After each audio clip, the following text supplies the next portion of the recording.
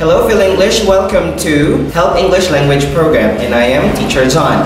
I am teaching IELTS. I've been here for 4 years.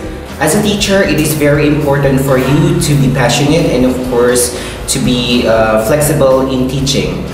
So of course, as much as possible, you should engage yourself into different kinds of level. In our class, we usually use Cambridge, okay, from 1 to 10, okay, for, for them to expand their knowledge in different kinds of subjects. So what are you waiting for? Come on, let's start. Um, here in our class, okay, we will start with, okay, writing, okay, writing. But this one, of course, is very important for the student to write. So most of the time, this is their weakness. So what are we going to do for today is that we are going to, okay, discuss the different parts of writing in IELTS Test 1 and Test 2. Okay, so we have two different tasks. So in task one, okay, of course, in this case, we are going to uh, write, okay, write the different parts, okay, of writing, which includes, okay, your introduction, body, okay, and conclusion in different kinds of charts, okay. So here, we have different kinds of charts, such as pie, table, line graph,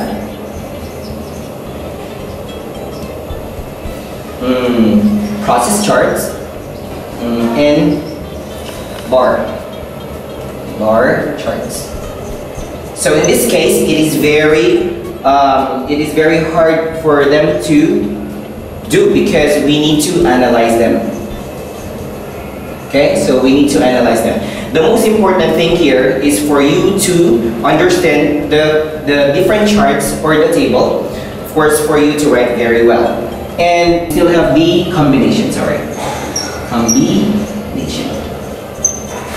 Alright, so these are the most important thing that you should do in test 1. Um, here, it is very important for you, of course, to, um, to know okay, the pictures, of course. So pie chart, this is the pie, okay? So the table, it includes numbers or digits, okay? For line graph, of course, it's very easy, like this, okay? In a line, so we have the x and y axis. So process chart, of course, you have to um, see the um, the methods or the process, okay, on how to do something like that.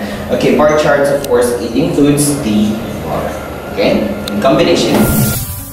Here in Martin Zapartel Help English Language program, we expand your world. Come on, see you soon.